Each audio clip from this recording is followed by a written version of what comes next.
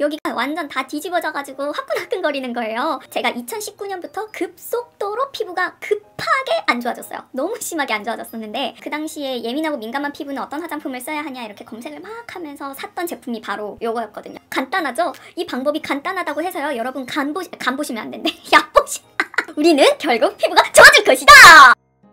안녕하세요 여러분 메입니다 여러분 제가 오늘은요 제품 하나를 추천해 드리려고 하는데 이 제품을 추천해 드리려고 하는 이유 중 하나가요. 제가 얼마 전에 유전자 검사를 했거든요. 근데 유전자 검사 여러분들 해보셨나요? 진짜 신기하더라고요.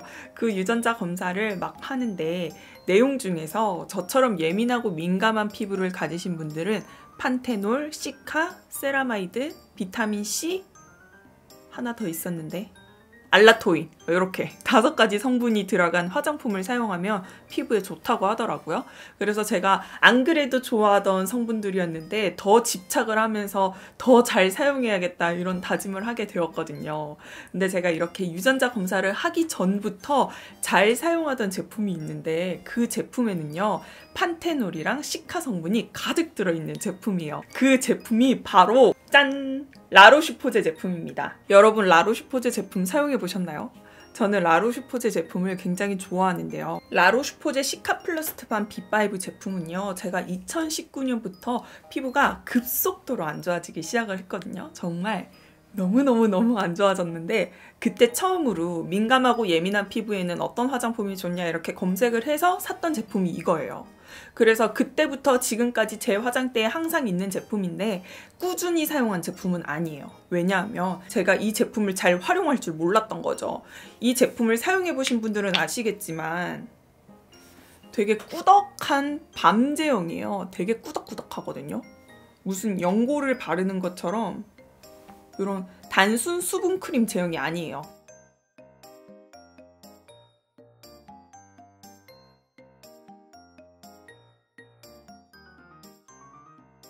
피부가 예민해져 본 적이 없는 상태에서 갑자기 예민해지고 그러다 보니까 기초 제품을 어떤 걸 써야 할지 모르는데 그 당시에 처음으로 이런 밤 타입을 써보니까 제가 잘 활용할 줄 몰랐던 거예요. 그래서 이게 대체 왜 좋은 거야? 하고 내팽개치고 있었는데요. 이 제형을 잘 바르는 방법이 있습니다. 제가 오늘 알려드리는 이 방법대로 바르시잖아요. 그러면 여러분도 이 크림이 최애 크림이 되실 수가 있을 것 같은데요. 분명 제가 지난 예민성, 민감성 피부 스킨케어 추천 영상에서는 꾸덕한 제형 쓰면 안 된다고 말을 했는데 오늘 추천해드리는 제품은 왜 꾸덕하죠? 이렇게 궁금하신 분들도 계실 것 같은데요. 제가 오늘 이 꾸덕한 제형을 어떻게 사용해야 되는지 정확하게 알려드릴 테니까요. 영상 끝까지 봐주세요. 아까도 말했지만 이 시카플러스트밤 B5 제품은요. 단순히 수분 크림이 아니에요. 밤 제품인데요. 크림을 짜서 얼굴에 바로 바르는 게 아니라 손등에 크림을 짠 다음에 롤링을 해서 이 크림을 얇게 펴 바른 다음에 그때 얼굴에 올려주셔야 돼요.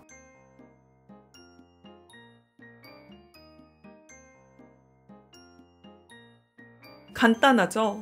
간단하다고 해서 이 방법을 간과하시면 안 돼요. 만약에 이 크림을 바로 손에 짜서 얼굴에 바르게 되잖아요. 이 롤링하면서 흡수되는 흡수력이 되게 더디고요. 꾸덕하다는 느낌이 더 잘 느끼게 되거든요. 그렇기 때문에 꼭 손등에 짜서 손으로 펴 바른 다음에 그때 얼굴에 발라주셔야 합니다. 제가 연고랑도 이렇게 섞어서 쓰곤 하는데 그때도 라루슈포제 밤이랑 이렇게 손등에서 섞어서 씁니다. 이렇게 바르면요. 얇게 바를 수 있고요. 심지어 크림을 안 바른 데 쫙 발리기 때문에 분명 피부는 촉촉한데 피부를 딱 보면 뭔가 바른 듯한 느낌이 들지 않아서 정말 좋아요. 오히려 일반 수분 크림을 피부에 발랐을 때는 피부 겉에 뭔가 바른 듯한 느낌이 남을 때가 있잖아요. 근데 이 라로슈포제 시카플러스트 밤은요. 이 겉도는 느낌이 아예 없어요. 그래서 피부 메이크업 바로 하셔도 좋아요. 그래서 저는 이런 산뜻한 느낌이 오히려 남자분들이 너무 좋아할 것 같아서 남자분들도 이 크림 써도 된다고 추천드리고 싶은데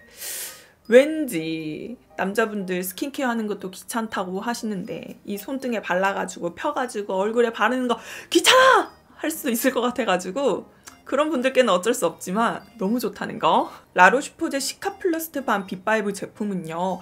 팬덤층이 확실하게 있는 제품이에요. 그럴 수밖에 없는 이유가요. 이 제품이 분명 화장품이긴 하나 거의 재생크림처럼 피부를 급속하게 진정을 너무 잘 시켜주는 제품이거든요. 아, 제가 얼마 전에 레티놀을 잘못 써가지고 여기 눈이랑 팔자주름에만 딱 발라줬는데 좀 자극이 됐나봐요. 그래가지고 이 눈이랑 팔자주름이 확 뒤집어졌었는데 그때 제가 이 cica 에센스 토너를 1차적으로 바르고요. Cicaplast Baume으로 딱 마무리를 해줬거든요. 진짜 금방 진정되는 게 너무너무 좋았고요. 제 지인들도요, 그 피부과에서 레이저 시술을 쫙 받고 난 다음에는 바로 이 Cicaplast Baume B5 제품을 얼굴에 도톰하게 발라준다고 하더라고요.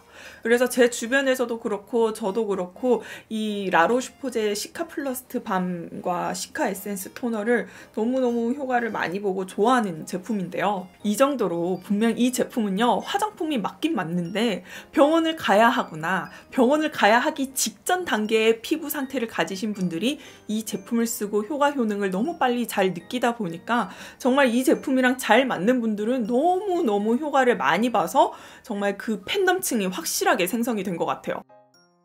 참고로 라로슈포제는요, 프랑스에 위치한 작은 마을인데요. 이 작은 마을에서 온천수가 발견이 됩니다. 근데 그 온천수가요, 사람 피부에 너무 좋은 거예요. 그래서 프랑스 국가에서 공식으로 인증한 온천수 센터가 생기고요. 그 온천수 센터는 거의 의료기관 수준으로 피부 고민이 있는 분들이 방문해서 치료를 받는데요. 그 치료 수준이요, 그냥 그 요양하면서 그 온천수로 씻는 거? 요 정도라고 하더라고요. 그 정도로 라로슈포제 온천수가 너무너무 유명한데요. 이걸 기반으로 만든 브랜드가 바로 라로슈포제 제품이에요. 그래서 그래서요 라로슈포제 제품에는요 베이스로 온천수가 함유가 되어 있는데요 여기에는 정제수라고 적혀 있는데 이 정제수가 온천수인지 아니면 온천수가 뭔가 다른 이름으로 이렇게 표시가 된 건지 뭔지는 모르겠지만 어쨌든 그렇다고 합니다. La Roche-Posay cica 에센스 토너는요, 제가 지난 영상에서도 말했지만, 저는 세안 후 제일 먼저 사용하는 first 에센스인데요. Cicaplast Baume을요, 그대로 에센스 토너화 시켰다고 생각하시면 됩니다. 그래서 cica 에센스 토너에도요, 판테놀, 고농축된 cica, 글리세린이 함유가 되어 있기 때문에 피부의 진정과 보습 충전을 하는데 도움이 됩니다. 원래는 이렇게 흡토로 사용할 수 있게 이렇게 사용하는 제품인데요. 저는 미스트 헤드를 끼워가지고 미스트처럼 사용을 하고 있어요. 그래서 저는 이걸 욕실에 두고요. 세안을 하고 난 다음에 피부가 가장 활성화가 되어 있잖아요. 그때 제일 먼저 사용해주는 제품입니다. 이 Cicaplast Baume 저랑 너무너무 잘 맞는데요. 묽은 에센스 토너가 있었으면 좋겠어요 하시는 분들께 적극 추천드릴게요. 자, 이렇게 해서요. 제 피부에 대해서 이야기도 해드리면서 라로슈포제 제품을 어떻게 활용하면 좋은지에 대해서 이야기를 해드렸는데요. 결국 화장품은요. 사바사인 거 아시죠? 앞으로 저는 이렇게 다양한 제품들을 사용해 보면서요. 만족스러웠던 제품을 여러분들께 소개해 드릴 텐데요. 제 이야기를 들으시고 조금이나마 도움이 되셨으면 좋겠습니다. 궁금하거나 보고 싶은 영상 있으면 댓글 남겨주시고요. 우리는 결국 피부가 좋아질 것이다! 우리 다음 영상에서도 만나요!